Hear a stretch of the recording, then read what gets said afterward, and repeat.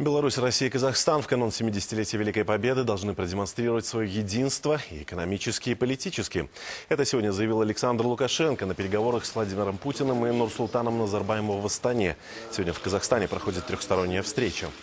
Глава государства обсуждают внешние торгово-экономические вызовы, а также некоторые международные вопросы. Как отметил президент Беларуси, вместе страны успешно смогут противостоять международным угрозам и вызовам. Каждый год нам приходится реагировать на какие-то вызовы.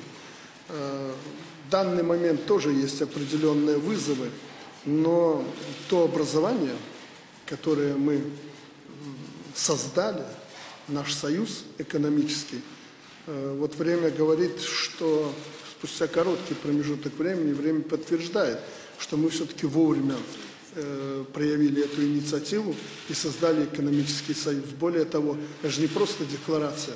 Мы огромное количество документов приняли, мы э, формализовали наш союз, подписав ряд соглашений. И в рамках нашего союза мы должны реагировать на эти вызовы.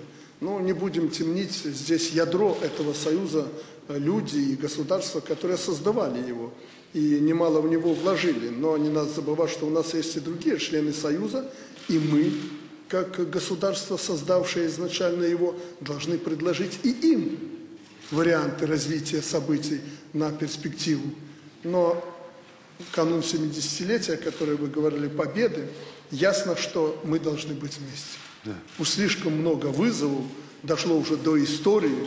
Президент России об этом последние дни очень много говорил, что нам брошены очень серьезные вызовы, в том числе с попыткой перечеркнуть, даже не переписать, а перечеркнуть нашу общую историю. Поэтому и экономически, и политически мы должны в канун 70-летия продемонстрировать свое единство.